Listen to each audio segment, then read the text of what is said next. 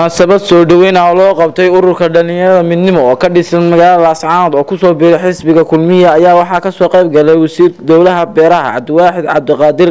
Mas'uuliyiinta xisbiga kulmiya ee gobolka sool maamulka heer gobol iyo heer degmo iyo waxgaradka ugu horeyn waxaa halkaasi ka hadlay. Mas'uuliyiinta ururka dhalinyarada midnimo oo shaaciyey inay ku biireen xisbiga kulmiya lana garab taagan yihiin hiil iyo hooba. Sidoo kale waxaa hadalka gobolka sool iyo nawaaxigiisaba waxaanu halkan ka caddaynaynaa annaga oo ah boqol iyo konton inaanu ku biiri doon ku biirnay xusbi maxaafidka kulmiya xisbiga kulmiye aad iyo aad baan u salaamayaa waana soo dhawaynayaa annagu waxaanu hayn bulshada ku dhaqan gobolka sool gaar ahaan laascaanood waxaanu ka tirsanayn ururadii inta badan soo shaqaynayay. Iminka waxaanu ku soo wareegnay xisbiga kulmiye. Run ahaantii waxaa farxad no ah annagoo ah dhallinyartii gobolka gaar ahaan dhallinyarta ka midooday ururka midnimo inaannu ku soo biirno xisbiga muxaafadka ee kulmiye. Markay eegeen siyaasadda dalka ka jirta xisbiyada dalka ka jira waxay go'aansadeen markii ay tala isugu noqnoqdeen shirar badan ay galeen waxay go'aansadeen xisbiga keliya ee dalka wax u qabtay ee dadka wax u qabtay ee gaar ahaan gobolkeenna sool wax u qabtay inuu yahay xisbiga inuu yahay xusbiga xusbi xaakimka kulmiye ee haddeerna talada dalka. Isku daba maray mas'uuliyiinta xisbiga kulmiye maamulka heer gobol iyo heer degmo iyo mas'uuliyiin ka soo qayb galay.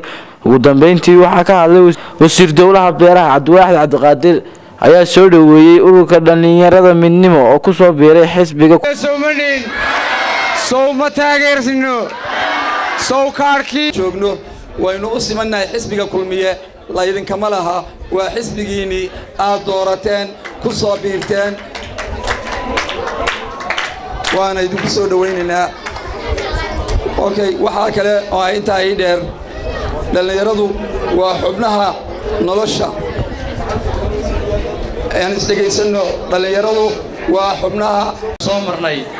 Waxaynu ku jirnaa marxaladihii ugu wacnaa ama casrigii inoogu qaalisanaa ee ay dhallinyaro hesho iyadoo maanta talada dalka boqolkiiba shan iyo labaatan iyadoo gacanta ku haysa.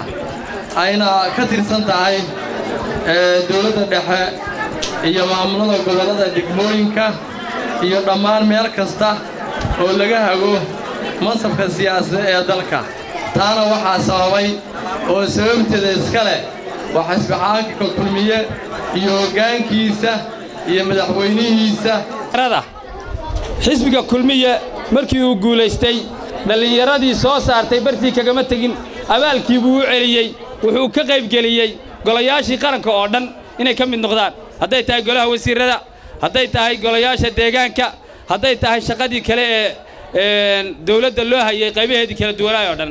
Inay cududooda iyo ciidankoodaba ku xoojiyaan xisbiga kulmiye cod kala siiyaan. Annana aad iyo aad baan runtii ugu faraxsannahay. Dhallinyarta intaa leeg ee cududdaa leh ee tiradaa leeg ee intaasoo ka kooban aqoon-yahan iyo waxgarad iyo dhallinyartii magaalada ah iyo waxgaradkii inay nagu soo biiraan aad baan u soo dhoweynay. Waana tacaawa keentay halkan inaynu ku dabaaldegno innagoo midaysan oo aan ururka midnimada iyo xisbiga kulmiye ay ku midoobeen aynuna wada noqonnay xisbiga midnimada iyo horumarka ee kulmiye. Aad iyo aad baad mahadsantiid farxaan maxamed caydiid tv-ga caalamiga ariel magaalada laascaanood